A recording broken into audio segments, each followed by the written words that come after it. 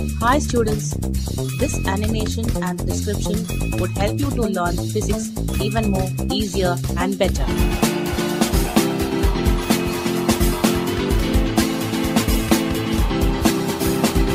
So please do watch it and enjoy learning physics.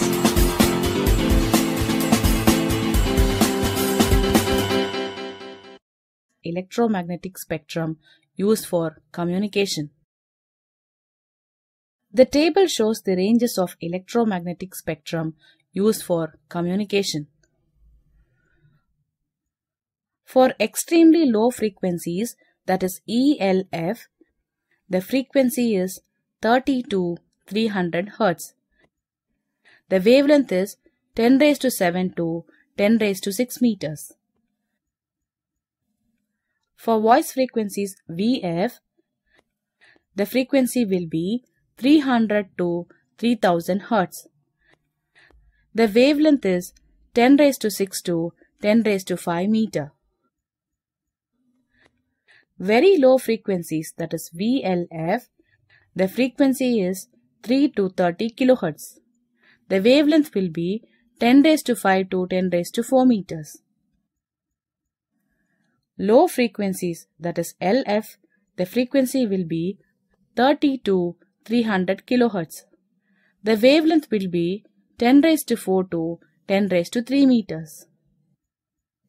Medium frequencies that is MF, the frequency will be 300 kHz to 3 megahertz. The wavelength will be 10 raised to 3 to 10 raised to 2 meter.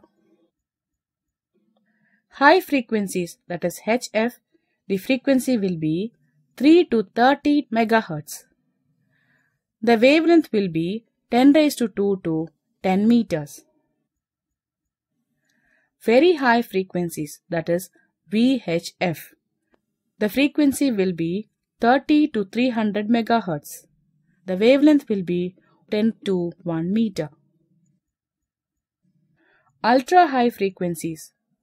The frequency will be 300 MHz to 3 GHz. The wavelength will be 1 to 10 raised to minus 1 meter. Super high frequencies, that is SHF.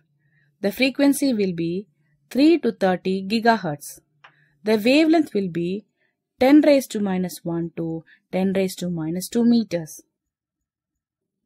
Extremely high frequencies, that is EHF. The frequency will be 30 to 300 gigahertz. The wavelength will be 10 raised to minus 2 to 10 raised to minus 3 meters. Thank you for watching.